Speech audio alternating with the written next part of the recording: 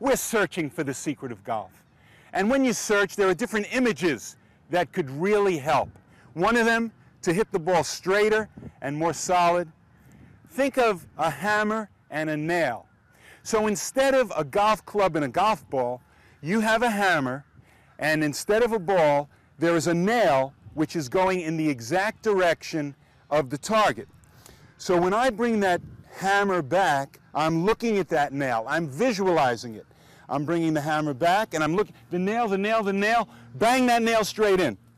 I guarantee if I could bang a nail straight in and I use that same exact swing when I hit a club, that ball would go straight. So once again, I'm going to start with a short swing. I see that nail. I see it. Boom. Hit it straight. I see that nail. There it is. Boom. Hit it straight. Now a little bigger. I see that nail. Boom. Straight. I see that nail with a bigger swing. Boom. Straight. Look at that nail. Look at it. Bang it. Bang it. That is a straight drive. When you search for the secret of golf, one way to do it is with the hammer swing. Hold it like a hammer. Bring it back like a hammer. See that nail. Let everything natural. If you can hit a nail straight into the wall,